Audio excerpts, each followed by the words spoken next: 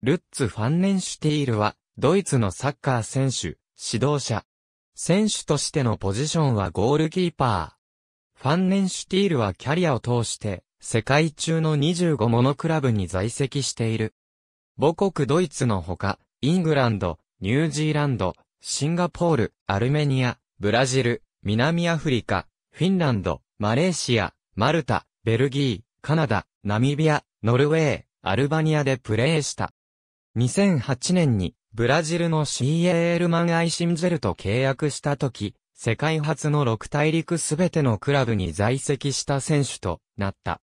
近年は指導者としても活動し、2008年4月に同じくドイツ国籍のラインホルト・ファンツが指揮を執るキューバ代表の GK コーチに就任した。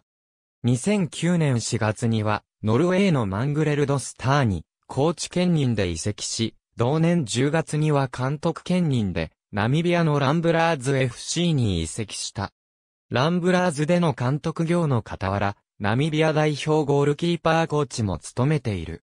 2009年10月には自助伝を発売し、2010FIFA ワールドカップでは第2ドイツテレビの解説者として活動している。また、2009年よりグローバルゴールというプロジェクトを立ち上げ、地球温暖化防止を訴えている。2010年12月には活動の一環として、南極での試合を予定しているほか、アマゾン、ネパール、ナミビア、タンザニアなどでの試合を計画している。